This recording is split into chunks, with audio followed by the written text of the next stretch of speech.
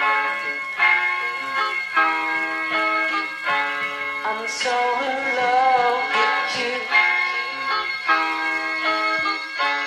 You got me down again.